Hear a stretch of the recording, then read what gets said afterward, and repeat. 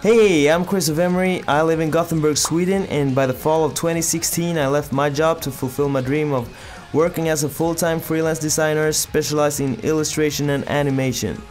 It was a scary step for sure, but proved to be the best decision of my life. So now I work for my own studio, drawing skateboard designs one day and animating commercials the other. I also have a lot of own projects going, such as my own clothing line and different animation projects, just to name some.